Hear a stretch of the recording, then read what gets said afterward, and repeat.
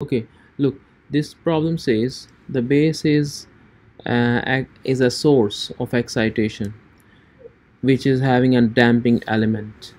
So usually the car wheel is a good example because it, the car it, like it's, it's, a bumpy road here and the car uh, runs on the road and the wheels they keep on vibrating vertically and that vibration goes into the passengers through some damping. Damping element is there. The base is exciting with the sinusoidal like simple harmonic motion and derive an expression for the x which is uh, the steady state amplitude of the motion. So we can derive it and derive the expression for the force transmitted to the steady uh, force transfer ft through the base to the to the mass. Steady, steady state amplitude of the force transmitted to the, to the support. Okay let's do this. First of all I would do the free body diagram correct? That is the first step. So this is vibrating with X and when this moves to the uh, vertically upward this will move downward it will move downward. They will spring and damper always oppose oppose the motion of the mass. So the force of the spring would be the difference of the two ends. This end would be written first the velocity because spring uh, the the damper is proposed the force of the damper is proportional to the velocity. So that's why x dot would be written first then negative y dot. And for the other uh, for the other part the force the spring force will be minus k this end would be written first. Minus the other end which is grounded so it's minus kx which is equal to minus kx. So now you have written down so all the forces you found it? You have a question? Okay now all the force equals mass times acceleration. So I'm gonna show you here the forces which I have minus c the damping force most of the students they do not write down the other end motion. They forget which is not correct. So i'm i'm trying to emphasize this portion here that you should not forget this in your uh, problems when i give you such problems. Now you just rearrange it. Mx double dot plus c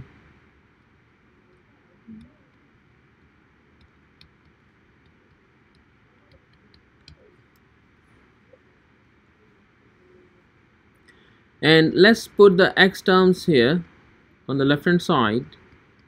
And the right hand side I would bring the y terms on the right hand side. Okay now we are in good shape. Now therefore the transfer function since we have to find out the x. So let's do the transfer function. So for that I need to do the Laplace transfer. Some people what they do they assume a um, a, x equals to e it the st like this.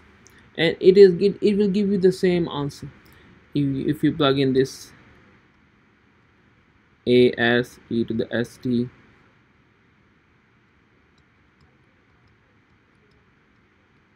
because this means e to the st means uh, s is what? I omega t correct?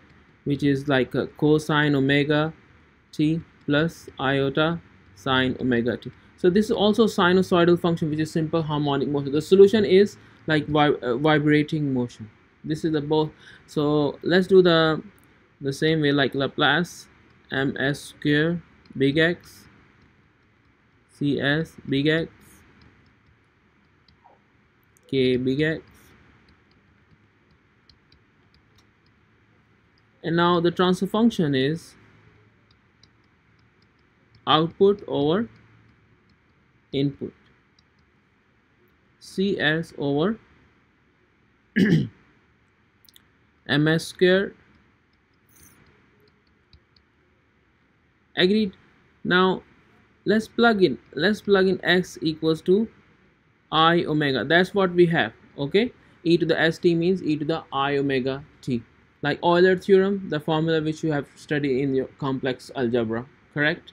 So I'm gonna replace s by i omega. So t the frequency domain it is i I would say let's write it down c omega i over minus m um omega squared this is plus c i omega.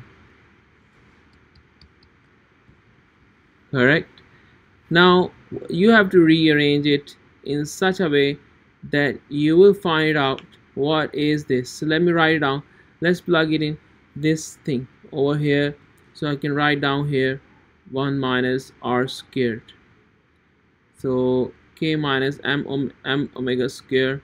So if I rewrite everything here c omega i over k so I can write down here 1 minus r squared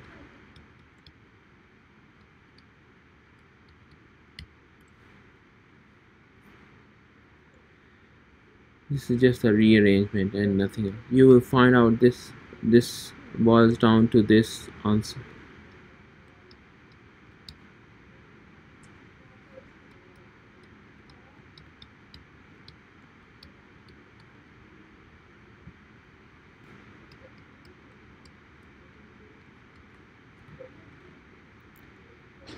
we know that omega n equals to square root k over m and c over m equals to 2 zeta omega n.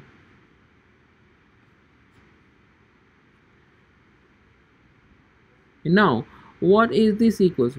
This is equal to x over so I can write down x over y that is equal to so you have to take the magnitude. This what is the magnitude? So the magnitude. So I would say do you know how to take the magnitude of a complex number? You take the square of real number plus square of the component of the imaginary number. Take the whole square root. That's how you take the magnitude. So so I'm gonna write down 2 zeta r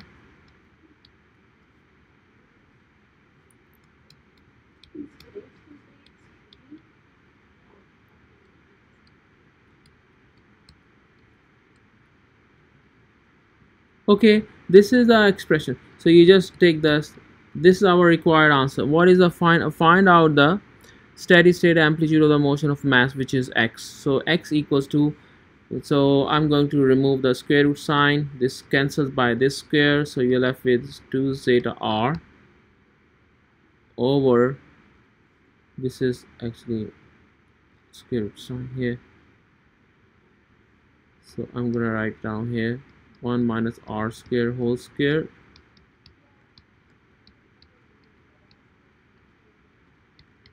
plus the amplitude of the base excitations correct?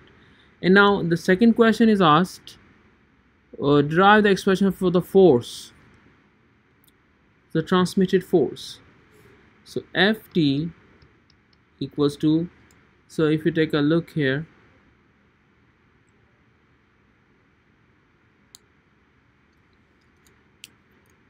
to the base. So the direction of AP studies of the force transmitted to the support. So this is I believe this is a support. So kx ft equals to kx. So the thing is this this is our support. This is the spring. This is the mass. This is the damper. And this is our base excitation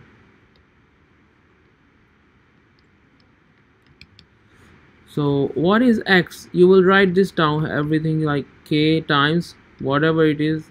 This will be written over here. You see my point? So this is your answer